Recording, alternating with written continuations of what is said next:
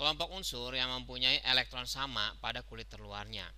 Elektron sama pada kulit terluarnya berarti itu sama aja golongannya sama, ya. Karena eh, kulit terluar itu menentukan golongan ya, elektron di kulit terluar itu.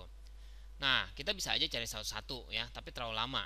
Jadi kita wajib menghafal golongan A itu, golongan utama ya, dari 1A sampai 8A itu kita harus hafal. Jadi lebih mudah menghitungnya, eh, mendeteksinya ya. Nah, sekarang kita lihat nih, Na Na itu golongan 1 natrium. Magnesium golongan 2 ini udah pasti beda golongan 1 sama golongan 2 Li litium golongan 1 Na natrium golongan 1 kalium juga golongan 1 kita pasti pilih yang B ya. C karbon ya. Karbon itu golongan 4 nitrogen golongan 5 oksigen golongan 6 itu udah beda.